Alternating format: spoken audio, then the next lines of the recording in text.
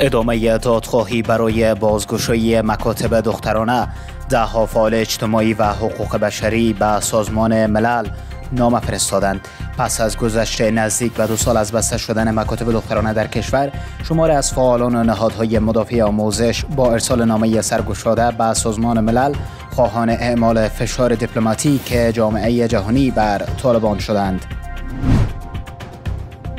ادامه خروج مهاجران افغان از ایران نزدیک به 18 هزار پناهجو طی ده روز اخراج شدند. مقام های ایرانی می گویند که 17926 پناهجوی غیرقانونی افغان را اخراج کردند. مرزبانان این کشور پناهجویان افغان را طی ده روز گذشته از طریق مرز دو قارون به طالبان تحویل دادند.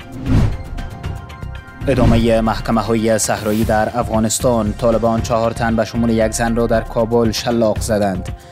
دادگاه عالی طالبان اعلام کرده است که چهار تن به شمول یک زن را به اتهام داشتن رابطه خارج از ازدواج در کابل شلاق زدند. این حکم سی روز پیش در محوطه دادگاه ابتدایی ولسوالی پغمان اجرا شده است.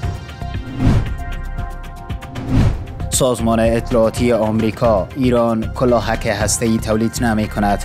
گزارش سازمان اطلاعاتی آمریکا که در هفته جاری منتشر شد نشان می دهد که ایران در حال ساخت سلاح هسته‌ای نیست. اما در حال تقویت توانایی هایی است که انجام این کار را برای تهران آسان تر می کند.